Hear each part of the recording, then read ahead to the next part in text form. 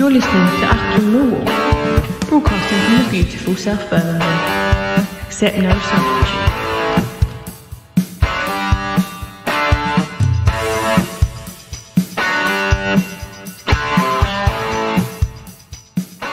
Hello, dear listeners. Now, I don't know about you, but I've got an earworm going through my head. It's called Nathan Jones. You've been gone too long, and I can't get it out of my head. Joining me to talk about Nathan Jones and all of the other contenders that are um, apparently in the air for the Millwall uh, job at the moment, Millwall managerial job, is is my uh, co-host and colleague. It's Mr. Neil Fissler. How are you, Neil? Uh, not too bad, not too bad. I'm, uh, I'm not sure that we'll uh, talk about Bananarama. Or Supremes. That was a debate I got involved in. Is it this the Supremes or the Bananarama version? Um, and I don't really. I thought at that point I've got to get out of this debate because. Yeah, well, I look upon it as a Bananarama song, to be honest. it's a Supreme Um, song. Classic. era. And uh, Once it gets in your head, listeners, it, it won't get out of your head, and I'm stuck with it at the moment, even as, even as I'm talking to Neil. Um, but before we just uh, do our show today, we're going to have a little look at some of the runners and riders uh, and the speculation, because that's all we've got really to talk about for the, uh, the managerial search at, at the Den. But we've got our pundit question, Neil. Um, as listeners will know, Mill- Millwall, uh, the Achtung Millwall and Pundit Games are teamed up this season every sale of this fantastic board game generates a, a donation to the Lions Food Hub. Fantastic cause. Um, visit punditgames.co.uk. It's a wonderful board game. You answer a series of football related questions, such as the one I'm going to tease you with shortly. Um, and if you answer five in a row, you score a goal against your opponent and you play for 45 minutes each, or whatever period of time they choose. Uh, highest scorer wins, obviously, just like football. So I'm going to tease you now, Neil. You sh- I don't think you're going to get this one, mate. I've, I've selected one to suit the more mature listener out there. Oh, Uh, this is this is a World Cup question, Neil. This is uh, one of Germany's West Germany Germany's best ever players. This forward played in the same four World Cups as Pele, and the photo of him leaving the field after losing the 1966 World Cup final to England was voted photo of the century by Kicker magazine. Um, played 476 times for Hamburg, scoring 404 goals from 1953 to 72. Bizarrely, played one game for Cork Celtic in 1978, scored two goals um, at that point, and played for West Germany 72 times, scoring 43 goals, 1954 to 1970. Very famous name. Got any ideas, Neil? uh, originally, I was thinking Gerd Müller, but I'm not Mm. sure if he played for for them or Bayern Munich. To be honest, but no, uh, that would that would have been my guess. If that's wrong, then It's a wrong guess, but we'll come back to the answer at the end of the show, listeners, because that way you have to listen to the whole show to get the answer. we extort listeners on this on this particular podcast. Um, so yeah, we'll do the answer at the end of today's conversation with Neil. Um, Neil, you and I have been talking about the manager. It does seem to be dragging on this this process, doesn't it? We do seem to make a big, um, you know, an exhaustive search. I think the, the uh, South London Press, Richard Cawley, are, are reporting an exhaustive search. Uh, it's a big contrast with QPR, who've appointed a Spanish manager, Cifuentes, I think his name is, quite quickly. We, we do tend to take our time. 18 days to appoint Gary Rowett in 2019, and it's now 13 days since Rowett left us. I don't know why we drag drag on so, do you? I think you'll find, isn't it, probably 15 now because that story would have been written a couple of days yeah. ago. yeah, yeah, so 15, yeah, yeah, yeah, right, yeah. So I'll be honest, I just want the speculation to end. Yeah, I just bloody get on with it. I think they're probably down to they're probably sorted out the week from the chaff last week. I think they interviewed 10 Rich- candidates, 10 candidates, yeah. 10 candidates, which is probably, and unless you do a QPR where I think they'd probably decided who they wanted Yeah. before they got rid of Ainsworth. Uh, I think, yeah, but if you look at it, if we've interviewed 10 people, we haven't got somebody lined up, it would all spank to me that we didn't see it coming. No, I agree. I agree. Um, Yeah, well, no, we were speculating the last time I was on, which was a couple of weeks ago. Now, Christ, it seems like a long time, doesn't it? It does The- seem a long time, but yeah, no, and also the, the kind of relative warmth of the words between the club and Gary Rowett implied a kind of a what's the word? The, the mutual mutual understanding. I can't remember the mutual but mutual agreement. So it was like it. They everyone was very happy with it. But I, I, I do agree. It does seem like we we weren't prepared for it at all, which um, is interesting. Um, Ten candidates. The uh, South London reports Richard Cawley. Um, the this SLP understands that John Eustace is not in the running. I think he seems to be a name also with Rowett for the Bristol City job now, um, which is vacant at the moment. Um, they do report that Nathan Jones, hence my heavy-handed gag at the start of today's show, uh, is under consideration. Um, just looking at the Sky bets, you get various um, betting odds on uh, betting Victor, Bet Victor, and, and Sky Bet. But Nathan Jones is favourite on both of those two websites. Five to four with Sky Bets and even money with uh, Bet Victor. Um, followed by now a new name and one that I hadn't heard of, but an interesting name, which is this uh, Joe Edwards, who's come out of nowhere slightly. Um, but Nathan Jones seems to be the favourite, and I would imagine his experience and relative success with Luton, anyway, um, would make him the, the probably the, the most obvious candidate of, of the grouping. I'd be very disappointed if Rowett does go to Bristol City. I don't think he is. I think they're going to go down the Eustace route. Mm. Is everything because he wanted to move nearer to home. Yeah, I'm not sure if Bristol's nearer to. it's probably an easier drive, just but not much in it, really, is there? Well, considering that I was told yesterday, I spoke to a friend of mine down here yesterday, and uh, uh, Nigel Pearson, who's just left the Bristol City job, lives three miles from where I live. Right. Okay. Okay. Believe it or not, he lives in deepest, darkest Devon. Right. So he drives up to Bristol. That's a fair old drive every day, isn't it? I mean, it's it's far enough. I was very surprised when he told me where he lived. Yeah. Uh, I was very, very surprised. It's, it's literally it's the next village over Okay. and uh, so I'd be disappointed if Rowett wasn't honest, and I've got no reason to suggest that he has been.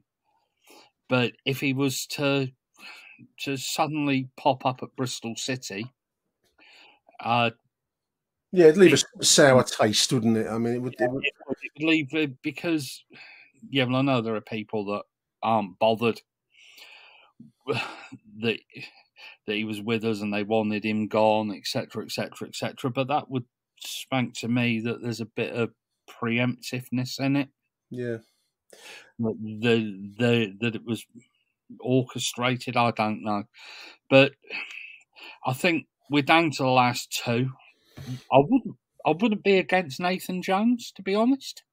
No, no. Uh, I think he's a bit of a crackpot. Well, I was going to say because you know you, you go round and round in circles, Neil, online. I mean, every name. I don't envy the board this this task because whoever you come up with, someone always chips in with, "Oh, not him. He's this. He's that. He was no good here. He was no good there."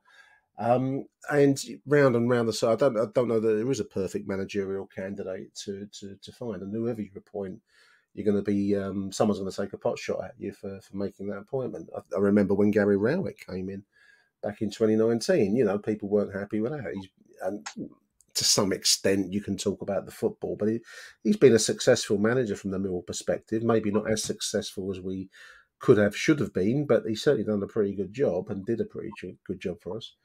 Um, so whoever you select here, I mean, I'm just looking at the. Let's take the Sky Bet odds as as a, as a baseline. Nathan Jones favourite. Um, then Joe Edwards, who's come in from nowhere. Then Michael Beale and Kevin Muscat, um, who seems to be less and less spoken of at the moment. Muscat, Beale, less and less mention of him online. It does seem to come down to this choice between Nathan Jones and Joe Edwards. The thing with Nathan Jones that strikes me is when you look at his um, CV on his Wikipedia page, probably a better way to put it. Um, he had a couple of flops, didn't he? He was manager at uh, Southampton and Stoke City, two flops, but he did pretty well over a few years with, with Luton Town. The personality issue is is is the is the thing, and I suppose my only um, doubt is the last time we had a personality manager, inverted commas, was uh, certainly Ian Holloway, and you know he he also cracked under, or has a track record of cracking under pressure. Now that's the only thing that maybe um, you know bothers me about Nathan Jones, but otherwise, playing wise and achievement wise, he's a pretty good candidate for Millwall FC. I think um, you can't argue what he's done with Luton over two spells. Mate, it's a very attractive job. We've said it. We've said it as soon as uh, as soon as we did that show with H and yeah. I think Michael and uh, Aaron when uh, on the evening that Rowett went. Uh, it's a very very attractive job. Uh, at Millwall, you're not kicked out the door after a few bad results. No, uh, you're not. No, you're given time to grow. You're given time to. I think it's also worth saying, Neil. I mean, the, the fans have this reputation of being um, you know, hard to to please and so on. But I mean, the amount of time and um, what should we call it? Um, space and forgiveness, or whatever way you want to put it, given to say Gary Rowett, for example, and, and even with Ian Holloway when he was in his pomp, he got he did not start getting the catching the heat until very late in his tenure. And I'd say that about Holloway and and Gary Rowett. Really, it's only when it started to unless it was me, I didn't want all the words from the start, and I predicted. Apart from you, but I mean, I'm talking stadium wise. You know, you, you, yeah, yeah. When no. the, the, stadium turns, it's there was there was a couple of incidents with Gary Rowett, but he turned around. It wasn't that common. Um, you know, it's only become it becomes the fashion amongst the kids to start saying Gary Rowett, your football was shit um, because everyone else is doing it. So there's a joining in quality, but that was only quite recent, really, on on any kind of regular basis. My my point being that for um, a fan base with a reputation for not tolerating um, certain certain things, you know, we, we, we give a lot of space and time to our managers. Actually, I believe. Yeah, it, yeah. You look at Nathan Jones. I think, I've fun enough. I was listening to Simon Jordan on Talk Sport yesterday, and he thinks that uh, Nathan Jones is our level mm. that, that we are as far as Nathan Jones can go, which I'm not against. Uh, I, the thing that the nagging thing of doubt in the back of my mind is the way that he left Luton for the second time to go to Southampton. Ambition, though, Neil, isn't it? Um, I mean, you could throw that into Michael Beale. Um, and, and, and I don't know the this Joe Joe Edwards, but is, is that that that that um, that ambition? I, I don't I can't think of a better word. Um, that will that will come into any manager. I would have thought. I think I can't imagine there's a manager that if they get given a chance to go to, in Beale's case, Glasgow Rangers. Um, yeah, but uh, Beale said four days before he wasn't interested. Yeah, this is football. this is football. Quite honest, yeah. And I think he actually tried to run before he could walk. Somebody very badly advised him. Yes, yes, yes. Yeah. I mean, Gary Rowett fell foul of that, Neil, didn't he? To a certain extent, I can see why Nathan Jones would do it, but okay, yeah, but he's made what six million, seven million pound in in what three or four months, however long he was there. So he can now afford to be fussy. Yeah. Yeah. If he wants a way back into the job, I know that they keep on playing his press conferences from from the end of his time with uh, Southampton. Yeah. And using it as kind of a stick to beat him. But I wouldn't be against the appointment. Uh, I wouldn't want him on a long contract. I think a a rolling contract with some kind of break clause. I'm, I'm not convinced, but I'm more convinced by him than having Michael Beale or even Muscat to a certain extent. Muscat's done well in Japan, mm. but didn't do well in Belgium. No. And, and is, is close to Postecoglou at uh, at Tottenham. So but these are all hazy, hazy things. I mean, the the, the Kevin Muscat, um, and you know, I was at Watford. I was talking to some of the chaps around me at Watford, and of course, Muscat is what you might call the people's choice. but that's very much because he used to go flying into tackles at, at, at a hip level and you Yeah. know that's rose tinted glasses.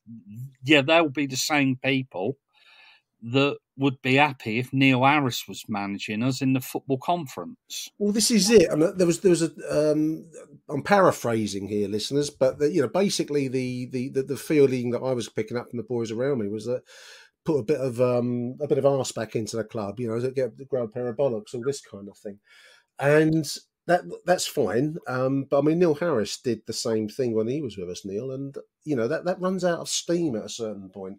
A good football side will, in the end, beat a willing workhorse parabolic side in the end because that's what we found out with Neil Harris. In the end, we were getting outplayed, and Football's evolved, doesn't it? Yeah, but let's be honest, you can't just have bollocks anymore. unfortunately not. Uh, you have to have a certain amount of skill and panache, I guess, if you like. You have to play football the right way now. You can't really get away with, yeah, with the old school route one, can you? No. Uh, No, no, no, Muscat was a good player. I mean, you know, I'm going to leave aside the physicality and, and the disciplinary side of his game, but he was a good player. no, And he was. he, he probably should have been a better player, but for the disciplinary and you know uh, all the reputational side of of his game. So who knows? You know, with, with him, I, I, a brilliant manager, but I'm not sure if he's the right manager for Millwall now. To be honest, he's never had a job in this country. no, He Didn't get the Rangers job. Uh, And no, no. apparently the Japanese want him to stay. So, and it just seems to me that if he hadn't been a former Millwall player, people would probably say, "Oh, oh yeah, no, fuck that Muscat. He's He's just know. he's got he's got there was the rose tinted memory of of years. Yeah, gone there past. Um, And- and there's this nostalgia amongst Millwall fans that you have to have some kind of connection with the club. If you've got some kind of connection with the club, yeah, almost untouchable. You, you look at uh, you have Danny Mack and uh, Billy Mitchell, yeah, both actually Millwall fans. yeah. Yeah, they, they, they get far less criticism than if they weren't Millwall fans, which is, which is fair enough. Yeah, which is fair enough, but it, it just. I think we've got to move on. Jones is a good candidate. I didn't know actually anything about this guy, Joe Edwards, until No, I didn't. I've read about him since yesterday. He, he- he, he seems like a very good candidate. I'm going to run a, a clip shortly of him speaking to Everton. He was assistant manager uh, to, or a coach at, uh, at Everton with um, with Frank Lampard. Now, some people laugh as soon as you say Frank Lampard, but he's he's he's, he's coached at a high level. England under twenties, I think. I've got. Achtung, Mehlball. a young coach when when I'm in and around people that you know can talk about the game and, and draw on vast experience. But at the same time, you know, I've been coaching in terms of planning training sessions and analysing for games and preparing game plans. That that's something I've been doing a long time. So I don't feel sort of inexperienced in that sense. Um, at the same time, something I would say about my age as well is sometimes I do find it particularly easy to relate to the players on some levels, which is really important. Um, you know, in, in my previous role at Chelsea, I came through into the first team setup at a time where there were a number of young players breaking through that, you know, we'd almost grown up together. They'd grown up as kids in the academy, and I'd progressed as a coach and been with them in my mid 20s to early 30s, um, and we'd shared that together. So sometimes I think the my age does help in that sense to sort of connect with players, which is a big part of coaching. Um, but certainly, I, I know I've got a lot of experience and a lot of experience at a, fantastic level uh, working at Chelsea. But at the same time, whenever I come across players or coaches at this level, you can always learn and, and gain experience from everyone.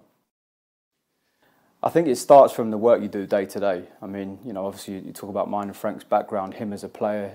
When you talk about success, you're referring to a lot of trophies and at the level that I'd worked at, it's, it's all relative. At the level I'd worked at in the academy, there would be a lot of success that people would, you know, they would summarise the success based on youth cup trophies and stuff like that. It, we're, we're not we're not expecting to walk into a club and all of a sudden start winning silverware instantly, but at the same time, the the standards that you set for all of the staff around the building, all of the players on a daily basis, to sort of to think like that, to think like the the the way that winners do every day and, and push yourself. That's the only way you've got any chance of, of getting anywhere near those levels over a long period. And we just the players to to keep putting the work rate in, to keep buying into the ideas of how we press together.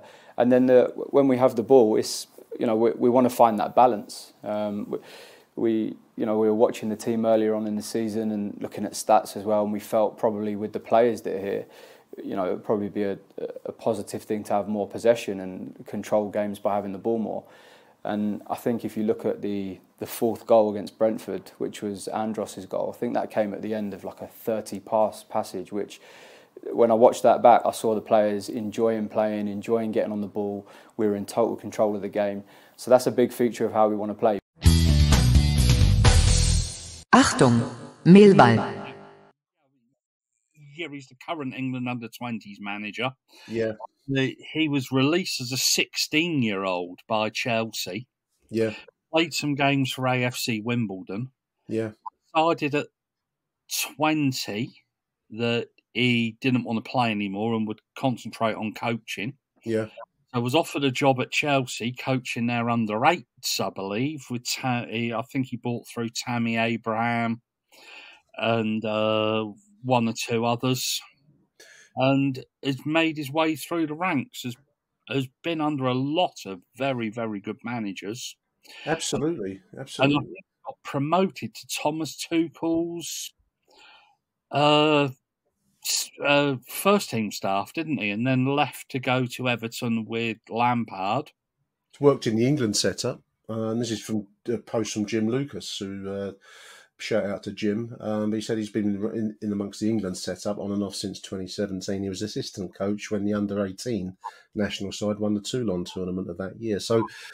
Um, as you say, he's he's he's been involved with top level players and top level coaches and managers. Um, it's an interesting choice. I mean, you know, I know nothing of him apart from a YouTube interview, which, as I say, I'll, I'll play. But um, you know, it's it's it's interesting that he's come out of nowhere. Really, um, the other, the thing that struck me is that we, it, we we've said this question a few times, Neil, and uh, you know, I mean, Jones will bring a kind of um, a successful Luton quality, if you want to put it that way. So that's going to be um, one one approach that we can be as a Millwall FC. The other side of it is what kind of mill do we want to be if we want to aim any higher than that? And Edwards would be a risk, that's for sure. But he, he's if you're going to take a risk, then take a risk on somebody that's, that's been in and around high level players and high level management. So he's a very interesting choice. Um, he comes over quite um, very articulate and he knows what he's talking about. I'm just looking at some of the comments from this Everton interview, uh, listeners. But he's, one chap here says this fella clearly knows his stuff, um, and he's part of a coaching team that fills him with confidence. Now, you know, obviously in the end you only judge by your results, but he does give a good impression. So he's an interesting name out of nowhere, really. Um, he's, I'm I'm wondering if Steve Kavanagh and Aldo are thinking of going down the kind of Kieran McKenna route at Ipswich. He was an unknown. yeah, They've appointed him, and he's got them into the championship, doing very well in the championship. Yeah. Maybe this is the. I wouldn't be against it. I, I think I think that if these two are the last two, yeah, or the final two, yeah, brilliant problem to have. And obviously, he's interviewed with us, yeah. so he must quite fancy the job. And that must probably say an awful lot about Millwall. It's a, it's an ambitious. It would be an ambitious choice in a way that maybe Nathan Jones wouldn't be as ambitious, and I might be doing him a disservice. I don't know him. I've only got the you know, Jones is the more established choice of the two. yeah, Uh, uh, Joe Edwards, it seems as if would be a kind of left field choice. young but- a young coach as well, Neil. Which we Exactly. haven't had. Young Yeah, young coach. I mean, I'm trying to think when we last had a young coach. I'm going back to another. wasn't exactly unknown, but he was, uh, uh, as a manager, he was. It was George Graham, who was probably a similar kind of. You know, Yeah, but- joined us. Would have been Dennis Wise. Yeah, player manager. Yeah, that's true. Yeah, yeah. Um, or even Harris to a certain extent, because Harris would only have we wouldn't have been long out of his playing boots, would he? So um, Harris wouldn't have been before his fortieth birthday. I don't think. So it's an interesting choice. I mean, I, as I've said, I, I know nothing. There's not even a Wikipedia page on Joe Edwards, so um, he's clearly under the radar. Um, second favourite, three to one, according to Sky Bet, with Nathan Jones at, at uh, favourites, five to four. Um, but yeah, I mean, it would be an ambitious move, and it'd be a very interesting move. How long? How long? Um, you know, he'd get because whoever comes in there, I think that's probably the only thing that might make Mill think twice. With the experience of Nathan Jones, you're going to have to come in, hit the ground running with a squad that's um, it's got, it's got its flaws. It's got its good side, but it's got its flaws at the moment. We saw some of those flaws at, at Watford last Saturday. You know, can get in front. Uh, it's a team that can get in front, but can't retain a lead. And I think whoever comes in needs to get to grips with that fairly sharpish because we're, we're letting points get away from us at the moment. Yeah, I think that if we were to appoint Joe Edwards, he'd be one of these new age coaches, I guess, would bring in new age ideas youngsters from the various connections he's got, I guess. Yeah. Working with our talent as well, you know, that, that can only be a good thing. He would actually obviously know Romain Esse quite well. Yeah. From the England under 18 setup. I think he's managed him there, hasn't he? Uh, he should, probably would have done, yes. That's right. It, I'm just wondering if could it boil down to Nathan Jones wanting to bring his own people in? Well, you would yeah. expect whoever comes in to. I mean, whether whether Joe Edwards has his own people, or I mean, Nathan Jones would do. He built his own people yet. He wouldn't have his no. his core team, would he? Whereas Nathan Jones has probably taken. Yeah, was Gary Rowett did to a certain extent. Rowett took Callum Davidson with him, didn't he?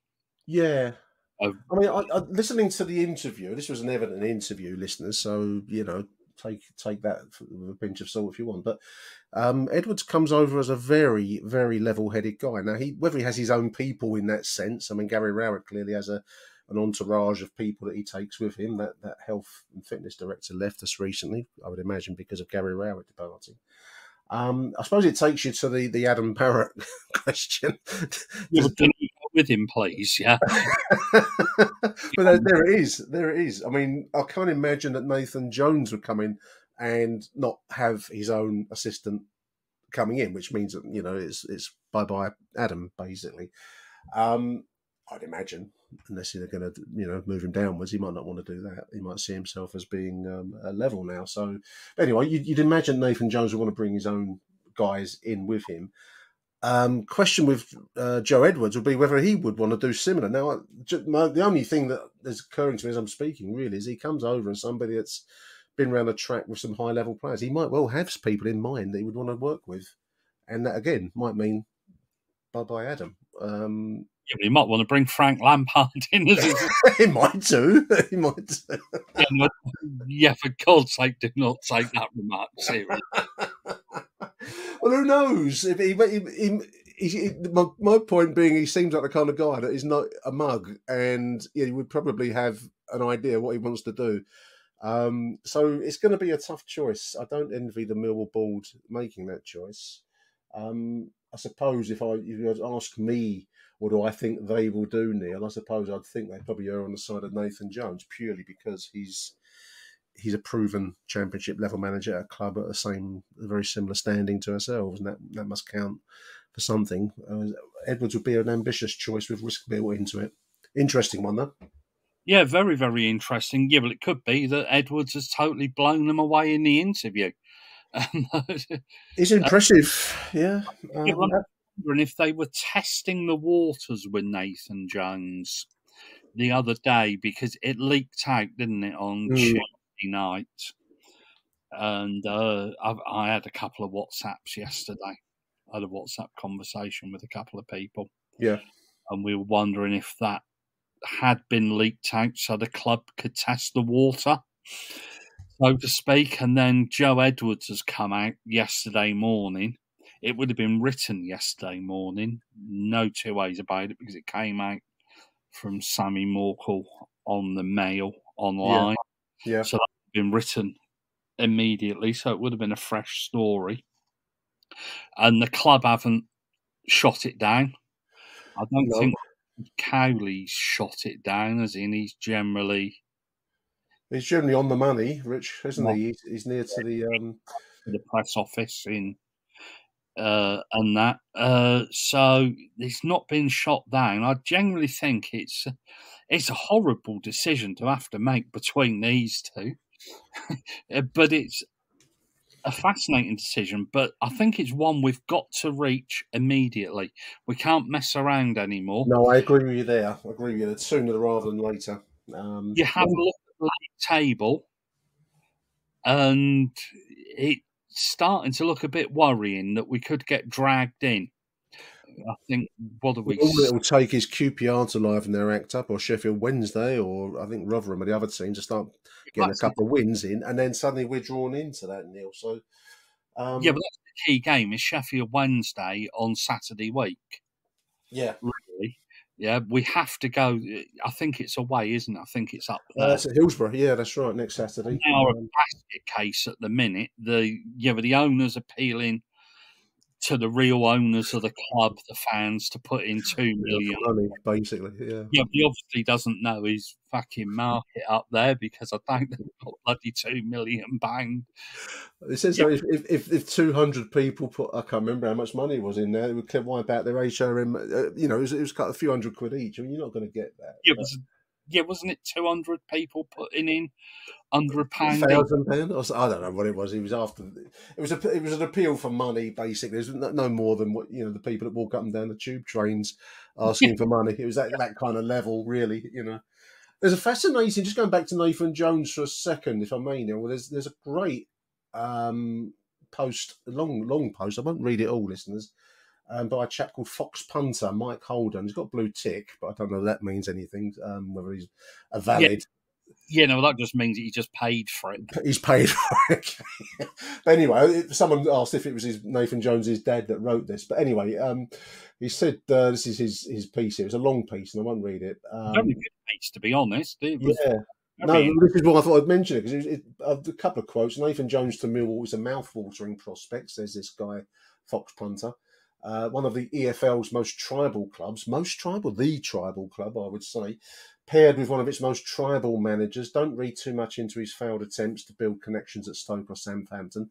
This is the bit that um, struck me. He's an intense character, full on, straight out of the gate, no holding back. He knows no other way. He's confrontational, Neil and he takes people out of their comfort zones. He doesn't request buy-in; he demands it.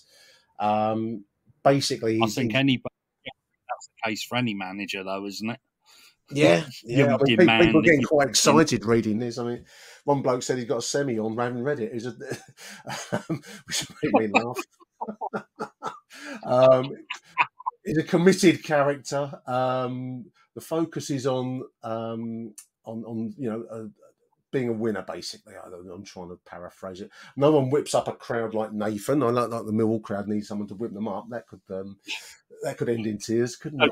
Recipe for hell, doesn't it? He puts them in, in the same sentence. Nathan Jones, he's got uh, Jurgen Klopp, Daniel Farke, Diego Simeone. It's an effortless flow state that runs through that personality type. This was the bit that struck me, and I saw it on his Wikipedia thing. He's a deeply religious man with a blinding faith that permeates his attitude towards everything. And when you read his um, wiki page, um, he's got Michelangelo's um, David, uh, Michelangelo's uh, Last Supper, that was it, tattooed across his back. Uh, the creation of Adam, excuse me, on his. Uh, he's got various religious um, tattoos. Now that doesn't hold him back, but I must admit, you think, okay, Yeah, but, come down Millwall, Neil. yeah, but can he take being called a cunt by the yeah yeah by the West Ham lower because it, his faith will be tested. Yeah, but I think it's probably yeah, but I think it's probably a very good job that Steve Kavanagh has opened up a multi faith ring because uh, because I think because I think he might be seeing quite frequent business. it's several religious tattoos. I'm not religious, listeners. I'm an active atheist, so you know, take me with a pinch of salt if you like. See, I wouldn't hold his religion against him if No, he. no, I wouldn't. I'm, I'm taking a Bicky, really, but um, Yeah. Anyone that has the creation of Adam across your back, you- you've got to sit there for a long while having a needle pricked into you, which might be good prep for the slower when we don't get a result when we think they think we should there we are. um, yeah, on to South. We've got a tough game Saturday, Neil Southampton. Um, you know, I, I imagine it's going to be Adam Barrett taking that game on. Um, I thought we weren't bad at Watford. It was an entertaining game. We need to be a bit better against Southampton because they're, they're a different prospect, I think, to, to Watford's. They're fourth in the table. Um, some way behind the top two now. That's turning into a, a two horse race, the, the division, Leicester and Ipswich at the top. Then the, the next four, which will be where the action is. Uh, but Southampton certainly in the in the playoff zone at the moment. So we could do with a win. We could do with a home win badly. We could do with a home win and We need a home win. Uh, full house, full house apparently, uh, nearly a full house Saturday. unfortunately, they're a bogey side. Mm.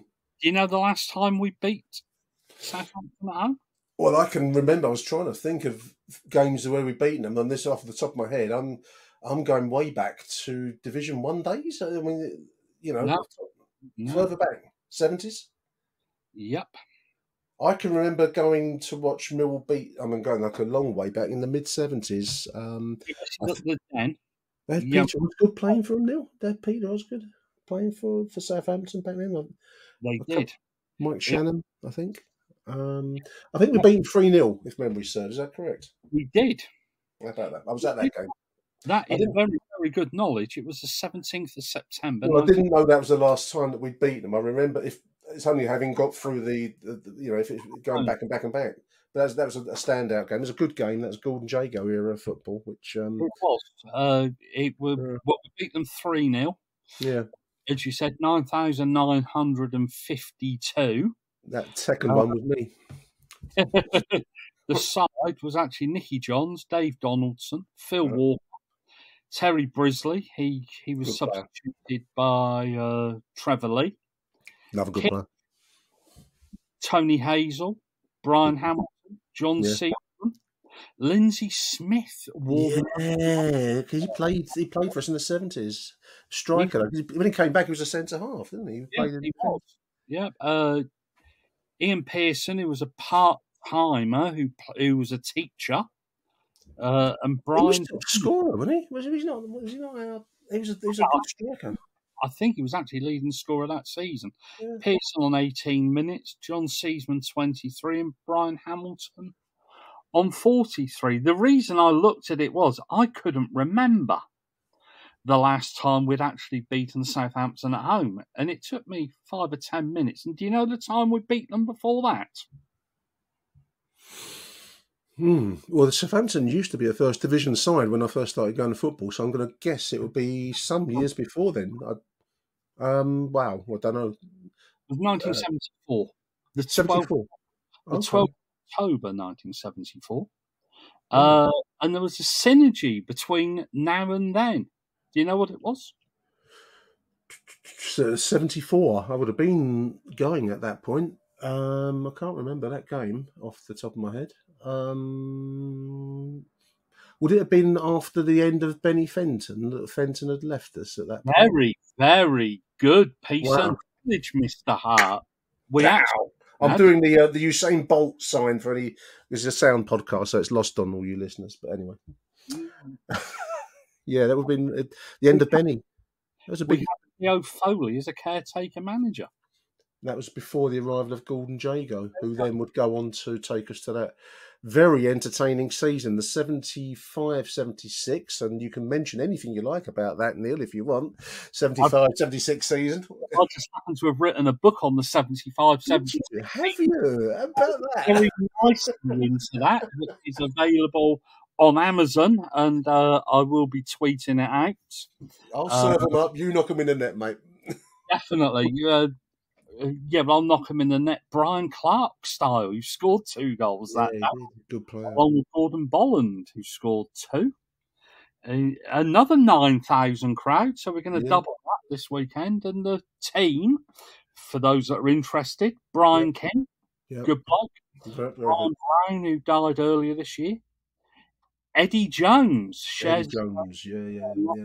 Australian rugby uh, rugby union coach, an England rugby union coach, obviously. Dave Donaldson, Yeah, Alan Dorney, Frank Saul, good players. uh, Gordon Bolland, Big Alfie Wood, at Alf Wood, yeah, passed away, didn't he? He was uh, Yeah, good- about good. Alzheimer's. Yeah, yeah. uh, Brian Clark, wonderful guy, spoke Yeah. to him a number of times, and Doug Allder. Great team. That was a team. I mean, I, I started going. excuse me. I, I started going in '72. So really, my first full season was '72-3. But seven, the '73-4 season, I was getting older. You start to appreciate what's going on around you, rather than being a kid. You know, just uh, uh, in awe of going to football. Um, but that was my one of my first sides where I could probably still name off the top of my head. Um, you know, without without checking. Great players. Um, Benny Fenton, great manager. When he when he left the Den, it was it was a big thing because he'd been there for about eight or nine years, I think, and had taken us very very close to the top flight. And it was quite sad when he when he left. Um, but the arrival of Jago was felt to be interesting. Synergy, as we're talking about now, was was felt to be um, a move in the right direction. Was, Jago was going to take us up a level. I mean, obviously, in the end, it wouldn't um, work out that way, but um, he came in from QPR with their reputation for playing bright seventies attractive football, um, and lo and behold, he did. It was, these those were good seasons to follow Millwall as a kid. Um, you know, yeah, he took them up, didn't he? he? Yeah, we got them promoted. 75 76, which was my first ever taste of success at Millwall. You don't get much of a taste of success at the Den, listeners, do you? But that was the first time I was aware I was that I was going and we achieved success. Wonderful season. We could talk about that on another show, Neil. Time with your book, mate, because I can talk about that for, you know, uh, for England. Um, a wonderful season. I, I, I, from looking at those seasons for the book, it quite an interesting time. We were skint, Mm. but Low, low crowds, so- some, you know, some four, five, crowds, Yeah. uh, constantly trying to find the money, uh, trying to find money for signings. And lo and behold, we went shopping in the Isthmian League. yeah. Came up with two absolute gems in Yeah, Phil- Trevor Lee and Phil Walker. I mean, you don't do that anymore, do you? More's a pity. More's a pity. Yeah, so so so there's an awful lot of parallels. I know we're not No, no. we haven't No, got on that level, but no, there are parallels, certainly comparatively speaking. Um, I think what what the, the memory I have because that was the first time where football kind of lifted me up, if you want, um, following Millwall anyway. Obviously, aware of other clubs having success on TV and, and cup runs, but that was the first time I I was in a stadium where promotion was achieved and there was this building sense all season of initial um, it was initially quite it wasn't flat but we weren't doing very well about mid-table in the third division and then gradually there was a surge from christmas onwards. Some huge games against crystal palace massive crowds. I mean i remember going to palace nil nil i think it was towards the end of the season that year and it was about, I think about 38,000 in, in selhurst park. Massive and you know big big situations at the den. We, we beat brighton famously 3-1 trevor lee scoring an overhead scissor kick that probably is a lot better in my memory uh, than it may have been in re- reality but that's that's what football does to you um 23,000 in, in, in Coldblow Lane. And it was just a wonderful season. So it was the first time I'd been involved or for part of um, success. And you need that. You need something for kids to latch onto. I think that's one of the, one of the criticisms, Neil, I'd make of the last few years with Gary Rowett. It's, it's been moderately successful by Mill standards. but It hasn't been entertaining. And for youngsters, they need they need heroes and they need they need fizz. They need not not fizz, our fizz, but you know what I mean, like football kind of pizzazz.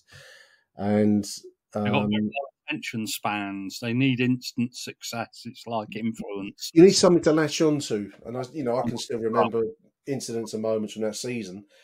Aged what would have been then fifteen, yeah, sixteen nearly, and that's what you need. That's what keeps you coming back for the rest of your life. Um, but yeah, so a wonderful season. Anyway, we've, we've waxed lyrical about um, about that season, but yeah, I, I didn't realise that was how far back you have to go for a, a win over Southampton. That's incredible, isn't it? Um, Yeah, well, I couldn't remember one, and I thought I, I don't really, I don't think I've ever seen us beat Southampton at home, and we've No. not played them an awful lot. They've generally been at a higher level than us. They're a bit like, um, you know, they, they, they, they were. Um, in my in my youth, they were a first division side. I think they would, they would obviously get relegated and pop back up again. It's probably too big for Division Two or the Championship. And always um, historically playing at the Dell, which was a wonderful old ground, um, very oddly shaped ground with one end that was on a on a kind of a sloping road. So you had this kind of odd, That kind of yeah, but that kind uh, three tiered terrace down there. And it was odd, wasn't it? Um, if you ever watch it on the big match, it's probably you go on about grounds of character. that end had to be one of the most character absolutely, absolutely. ends ever. I remember going down there. Would have been about this era, seventy six, maybe seventy seven. We won three two at, at the Dell, um, and a bit of a come, a, a slightly a sense of winning against the odds because I think Southampton were looking up and we were fighting relegation. That was a season or two later from these games we're talking about, but. Um, yeah, no, very, very, a very old-fashioned ground in that sense, with a real quirk. You don't get that in. in Did you go down there when we played Salisbury in the FA Cup, Nick? Uh, that would be in the early eighties, wouldn't it? Salisbury was that at the Dell. Um, yeah, I think it was. I, I don't think I went to that one. I, I remember going. I went to uh, Fratton Park, their great rivals, Fratton Park, for the the home game that was um, we were banned from the Den. That would follow the quarter final um, riot in the, in the late seventies against Ipswich, and we got banned, so we had to play a home game at Portsmouth. I don't think I went to the Salisbury game, Neil. Um, I can't remember if I did. Um, which no, I don't think I did. Uh, I remember going to the the Southampton three two win. That was in the mid seventies. I don't think I made that one for some reason. Girlfriends probably. I probably had to go and take a girlfriend out or something. Not the Millwall I know. We've all been there, mate. We've all been. you know, you know, well, we've all had the ultimatum. It's either Where you go, Southampton, and watch Millwall play Salisbury in the first round of the FA Cup. yeah, but it's either Millwall or me, and it's oh, I'll, yeah, but I'll see you later. I'm going to get the track. it's not, not the best chat up line in the world, is it? But there we are. Oh dear. Anyway, um, Southampton at home Saturday. It's, it's our Remembrance Day. Um, if you want to buy a poppy, listeners, come and find me. I, am hoping it won't be pouring down with rain because I'm going to be giving Mel um, Bird off of Hoff um, uh, some assistance selling poppies.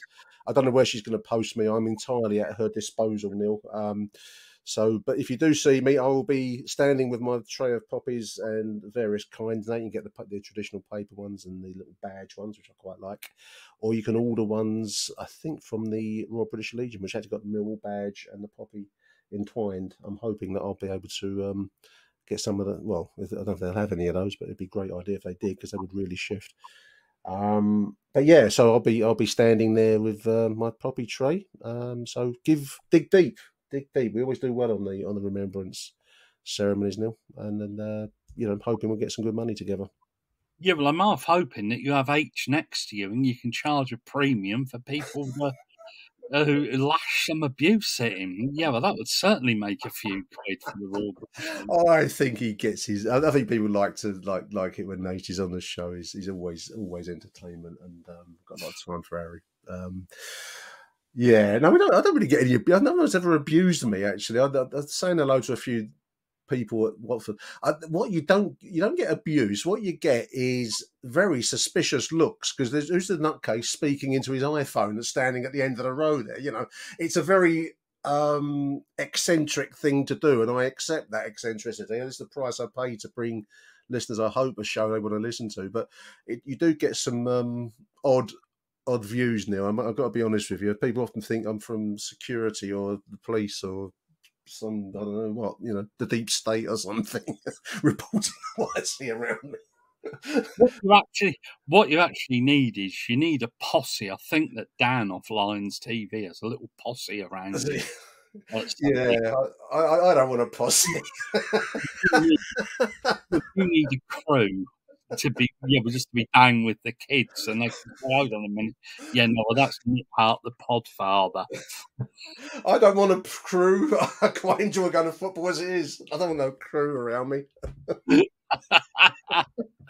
oh dear! No, you do. You, uh, uh, once you start talking to people, and, and once you get past the um, the uh, the, the initial kind of uh, what's the podcast part? What is that?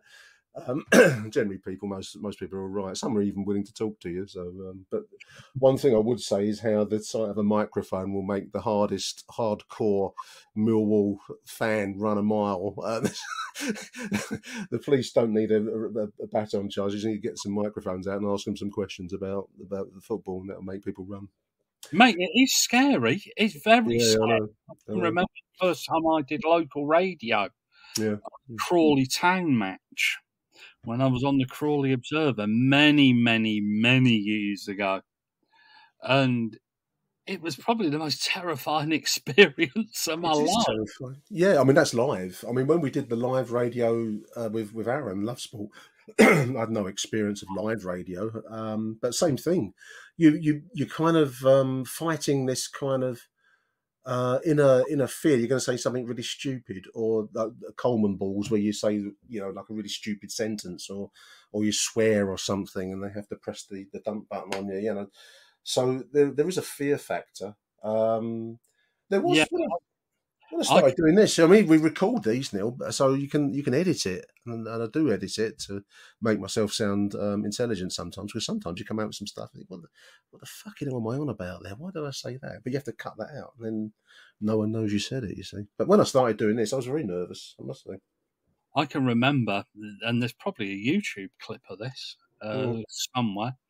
There was a there was a program called Sports Tonight Live, and for some unknown reason, they had me as a studio guest a number of times. I, want to see that. I'm going to have to find this YouTube clip.